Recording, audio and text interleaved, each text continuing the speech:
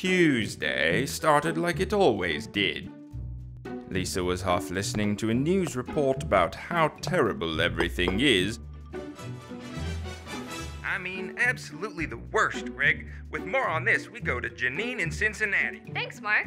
Everything When, while trying awful to here. ignore the unceasing barking of the neighbor's dog and the sounds of her own chewing, which she recently had started to find unbearable, Lisa saw a tree. It was the kind of tree that made you want to sing, that called to the very core of our biology as human beings and reminded us of who we were, who we are, and where we have to go. It was, well, it was a pretty nice tree. And as Lisa stared at this spectacular reminder of Mother Nature, something magical happened. Lisa became a tree person which would have been a mentally and emotionally powerful event if Lisa knew exactly what being a tree person meant. So, she improvised. First thing Lisa did was to leave society, and quickly.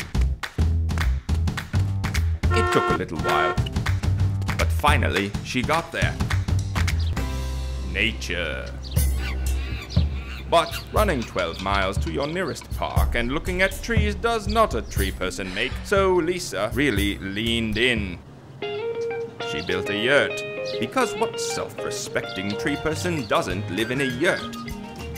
She started eating bugs. Because, well, I'm not really sure why. But above all else, Lisa studied. She studied every tree she could, every leaf, every piece of bark, and suddenly, she got it. Lisa got to work immediately. She collected her ingredients, found a nice spot, and did what any self respecting tree person would do. She planted herself. Her intentions were good, but perhaps misplaced, for you see, being a tree person is as easy as giving a tree dedication. When you give a tree dedication, you support TreePeople's mission to plant actual trees, cool our cities, and make people healthy and happy too.